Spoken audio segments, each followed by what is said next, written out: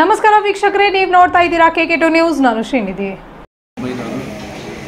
ನಿಕಟಪೂರ್ವ ಮುಖ್ಯಮಂತ್ರಿಯಾದಂಥ ಯಡಿಯೂರಪ್ಪನವರು ರಾಷ್ಟ್ರೀಯ ಅಧ್ಯಕ್ಷರಾದಂಥ ಸನ್ಮಾನ್ಯ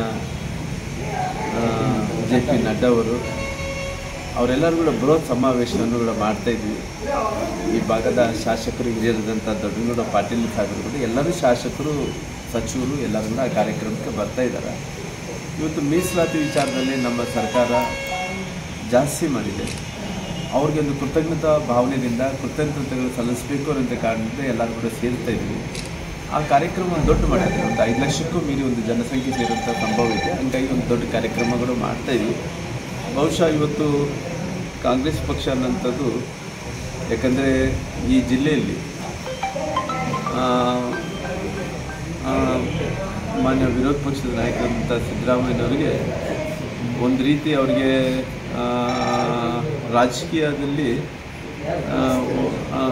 ಒಂದು ರೀತಿ ಅವ್ರಿಗೆ ಒಂದು ಅಸ್ಥಿರತೆ ಅನ್ಕೊಬೋದು. ಅವರು ಏಳಿಗೆ ಸಲುವಾಗಿ ಕೂಡ ಒಂದು ಭವಿಷ್ಯವನ್ನು ರೂಪಿಸಿದಂಥ ಬಾದಾಮಿ ತಾಲೂಕಿಗೆ ಅವರು ಇವತ್ತು ಎಲ್ಲೋ ಒಂದು ಕಡೆ ಈ ಬಾದಾಮಿ ಜಿಲ್ಲೆಯನ್ನು ಬಿಡುವಂಥ ಒಂದು ಮಾತನ್ನು ಕೂಡ ಅವರು ಹೇಳಿದ್ದಾರೆ. ಹಂಗಾಗಿ ಇವತ್ತು ಪುನರ್ಜನ್ಮ ಕೊಟ್ಟಿದಂಥ ಈ ಬಾದಾಮಿ ತಾಲೂಕಿಗೆ ಇವತ್ತು ರಾಜಕೀಯವಾಗಿ ಅವರೆಲ್ಲ ಒಂದು ಕಡೆ ಇಲ್ಲಿ ಸೋಲ್ತಿನಂಥ ಭಯದಿಂದ ಸೋಲ್ತಿನಂಥ ಭಯದಿಂದ ಇವತ್ತು ಒಂದು ಕಡೆ ನಾನು ಕೋಲಾರ ಜಿಲ್ಲೆಯಲ್ಲಿ ಕೋಲಾರ ಕಡೆ ನಿಲ್ತೀನಿ ಇಲ್ಲಿದ ವರ್ಣದಲ್ಲಿ ನಿಲ್ತೀನಿ ಅಂತೇಳಿ ಭಾಳಷ್ಟು ಕಡೆ ಹಿಂಗೆ ಹೇಳ್ಕೊತ ಹೋಗ್ತಾ ಇದ್ದಾರೆ. ಇದೆಲ್ಲ ಕೂಡ ರಾಜಕೀಯವಾಗಿ ಒಂದು ಗಿಮಿಕ್ಸ್ ಮಾಡ್ತಾ ಇದ್ದಾರೆ. ಡಿಮ್ಯಾಂಡನ್ನು ಕ್ರಿಯೇಟ್ ಮಾಡ್ಕೊತಾ ಇದ್ದಾನೆ ಈ ಡಿಮ್ಯಾಂಡ್ ಕ್ರಿಯೇಟ್ ಮಾಡ್ಕೊಳ್ಳೋದ್ರಿಂದ ಅವ್ರ ರಾಜಕೀಯದಲ್ಲಿ ಅಸ್ತಿತ್ವವನ್ನು ಉಳಿಸ್ಕೊಳ್ಳೋ ಸಲುವಾಗಿ ಈ ಬಾದಾಮಿ ಜನರು ಒಂದು ರೀತಿ ಅವರಿಗೆ ಗೆಲುವುದು ಗೆಲ್ಲಿಸೋದ್ರ ಮೂಲಕ ಅವರಿಗೆ ಕೀರ್ತಿಯನ್ನು ಬೆಳೆಸುವಂಥ ಕೆಲಸ ಮಾಡಿದರು.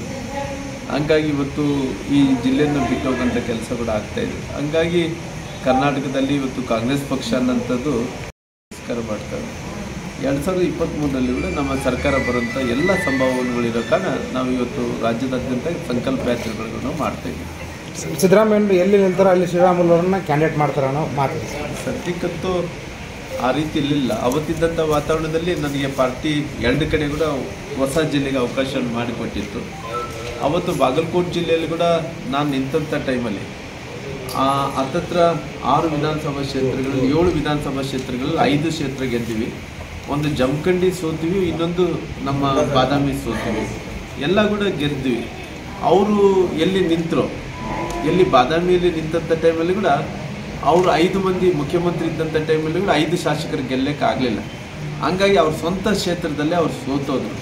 ಹಂಗೆ ನಾನು ಎರಡು ಜಿಲ್ಲೆ ಹೊಸದಾಗಿರೋ ಕಾರಣ ಅವತ್ತು ಬಾದಾಮಿದಲ್ಲಿ ನಾನು ಸೋತೆ, ಕೇವಲ ಹದಿನಾರು ನೂರು ಮತಗಳಿಂದ ಸೋತೋದೆ. ಆದರೆ ನನಗೆ ಚಿತ್ರದುರ್ಗ ಜಿಲ್ಲೆ ಕೂಡ ಹೊಸ ಜಿಲ್ಲೆ ಆಗಿದ್ರು, ಅಲ್ಲಿ ನಾನು ಐವತ್ತು ಸಾವಿರ ಮತಗಳಿಂದ ಗೆದ್ದೀನಿ ಹಂಗಾಗಿ ಇವತ್ತು ಅವರಿಗೆ ಎಲ್ಲ ಒಂದು ಕಡೆ ಇವತ್ತು ಕುರ್ಜಿ ಮೇಲೆ ಆಸೆ ಭಾಳಷ್ಟು ಹುಟ್ಟಿದೆ. ನಾನು ಮುಖ್ಯಮಂತ್ರಿ ಆಗಬೇಕು, ಮುಖ್ಯಮಂತ್ರಿ ಆಗಬೇಕಂತ ನಾನು ಮೊನ್ನೆ ಹೇಳ್ತಾ ಇದ್ದೀನಿ. ಇನ್ನು ಮಗುವೇ ಹುಟ್ಟಿಲ್ಲ, ಮಗನ ಹುಟ್ಟಿದ ಮುಂಚೆನೇ ನಾಮಕರಣ ಮಾಡೋಕೆ ಹೊಂಟಾರಲ್ರಿ ಇವರು. ಇನ್ನು ಮುಖ್ಯಮಂತ್ರಿನೇ ಆಗಲಿಲ್ಲ, ಮುಖ್ಯಮಂತ್ರಿ ಆಗ್ತೀನಿ ಅಂತೇಳಿ ಆಲ್ರೆಡಿ ಘೋಷಣೆ ಮಾಡ್ಕೊಂಡು ಹೊಂಟಾರ. ಇನ್ನು ಚುನಾವಣೆಗಳು ಭಾಳಷ್ಟು ದೂರ ಇದ್ದಾವೆ ಈ ಚುನಾವಣೆ ಸಂದರ್ಭದಲ್ಲಿ ಇನ್ನು ಕಾಂಗ್ರೆಸ್ ಪಕ್ಷ ಅಧಿಕಾರಕ್ಕೆ ಬರುತ್ತಿಲ್ಲ ಗೊತ್ತಿಲ್ಲ. ಅಂಥ ಪರಿಸ್ಥಿತಿಯಲ್ಲಿಗೂ ನಾನು ಮುಖ್ಯಮಂತ್ರಿ ಆಗಬೇಕೆಂದು ಅವ್ರು ಹೊರಟಿದ್ದಾರೆ.